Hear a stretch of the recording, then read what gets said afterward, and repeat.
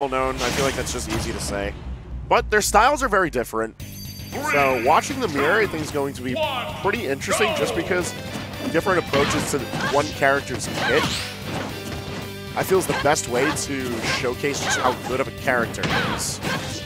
Like, E, always known for his aggression, he's going to constantly hound down Stretch.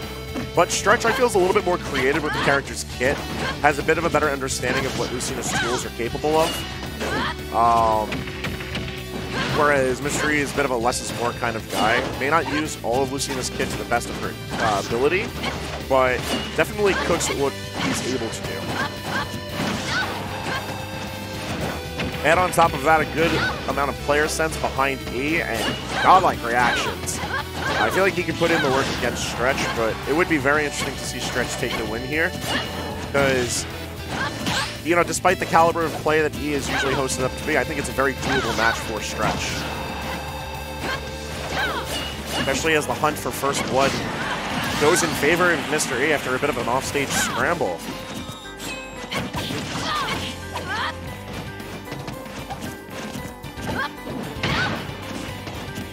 I like how E is trying to take towards center stage, maintain this plat. Brought it up in the previous game uh, with Stretch on the mic about how protecting base uh, beneath base plat of Smashville is so good for so much of the cast.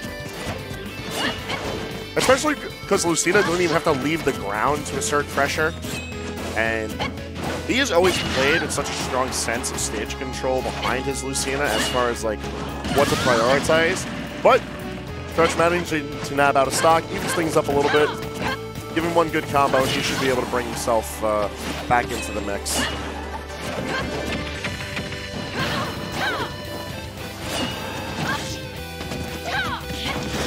Little call-outs here and there, the jumps out of shields, the impatience at the ledge. These guys know what their characters can do, and it's pretty evident, but he trying to just hit the gas harder is what's been paying out for him.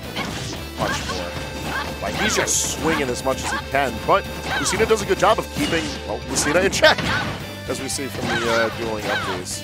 And right now, E is doing a fantastic job of keeping Stretch off the ground. And this is looking really, really scary for Stretch because he just has to find a way to get back. But wow, that was really interesting for Mr. E. I think he was going for a parry attempt there by the uh, drop shields, but you know, still got out of that interaction unfazed. Yeah, he seemed like he wasn't as confident with his timing for it, so he just figured to dip, give himself the space to reset the situation, which is a fine option to go for. There's no reason to like risk tying up a situation Yep. when you have a fairly healthy stock lead. And just like the mental pressure of like using the neutral B like that, it like was enough to make Mr. Lee back away. And so you saw Stretch going for that again, wanting to reassert stage control for himself, but Mr. Lee this time decided to challenge it with a down air, which really worked out for his favor. Has to be really, really careful about F smashing on uh, Mr. E's shield like that. But uh, for those of you guys that don't know, I'm Daramgar. Um, sorry to be jumping in so late into the set. I'm here with Well, Call me Frank if you want Frank. to. Uh, Yep, Hangman Frank. is the tag. Hangman. Um, so yeah, so I didn't get to see much of this game. So what were your thoughts so far on game one? So as far as game one went, I feel like the match itself was very evenly paced. And that's what I was sort of uh, going into in the pregame to this, where like they've both been playing Lucina for very long.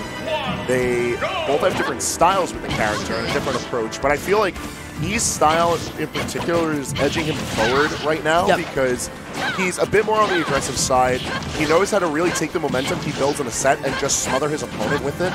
And in game one, we saw a lot of him swinging more on stretch, taking more advantage of the stage control that he garnered, and using that to just outright bully stretch. He put on more percentage, he maintained a stock lead, bit healthier, and it wasn't that stretch was playing particularly bad or getting severely outplayed. It was just he had the numbers game against him with much less room to land. Really, fun really beautifully spaced back here from uh, Mr. They're already wrapping up the first half of the set, but Stretch is starting to bring him back with a down throw up air. And what I've noticed that like a lot is like where Stretch is just like racking up that percent is like not only in those juggle situations, but when he is off stage, Mr. E is just like able to keep him there for such a long time. And and just like that, getting a falling up air into another up air, already putting them almost even percent. But Stretch is finally taking a, a little bit of a positional lead for himself, but giving it all up to try to lead the low recovery. One of the strongest aspects of Lucina as a character has always been her ability to edge guard. And I feel like he is one of the, the top Lucinas who's like truly exemplified that. When he's at the ledge, he's a dude, Yeah. but Stretch is not to be slept on. Already showcasing that he can tie things back up. But we saw this in game one as well. He tied up the stocks. He needs to tie up that damage, otherwise he's just going to run away with the momentum. Right now, like, what Stretch really has to be wary of are his full hops because you see Mr. Lee catching his landings a lot with F tilt, and both of them are just like swinging repeatedly on each other's shields, right now whittling them down slowly. And both of these uh, characters have really, really safe options. None of them are going to be risking anything after getting the shield hit. And if they're managing to catch things out as he further surmounts his lead. I- it's just rough because it's, it's clear why Stretch would want to bring anyone to Final Destination. It's a phenomenal stage for Lucina. But I feel like he has built a, like his ultimate dynasty on his play on FD. Yeah. It's such a good stage for any character that wants to edge guard, especially any player who's willing to risk getting aggressive at the ledge. And I, once again, like you just see like how much pressure Stretch exerts with his usage of the neutral B right there, because he forced a hasty option from Mr. Lee, and as a result, he now reasserted stage control for himself. But ooh, letting uh, Mr. Lee get the roll behind his shield, unable to punish in time, and once again, like Stretch use of neutral B, I feel like was really, really unique in a way that he like conditions you throughout the entire set, and he's like, are you gonna shield this, are you gonna parry this, are you gonna drop this, or are you gonna run away from this, and then let me come back for free? Yeah, that's one thing that I appreciate about Stretch's Lucina as opposed to a lot of the other local or higher level Lucinas is the fact that he's ready and willing to make use of a lot of Lucina's kit, and he knows how to mix it up. So Yep. like we've seen a lot of the dancing blade for mixing up movement, but it's the counter from E that lets him get the 2-0 over Stretch for the win. And that was like at that point, like that was a very, very like clean edge guard for Mr. Lee because he burned um, Stretch's jump. Stretch really could only recover low and didn't have too much of an opportunity to drift. And to top it off, Mr. Lee has the exact same like drift and fall speed as because it is a Ditto, so he can easily just like follow the character down and then react with a down B um, accordingly. Yeah, Um, Dittos are rough, buddy. Yep.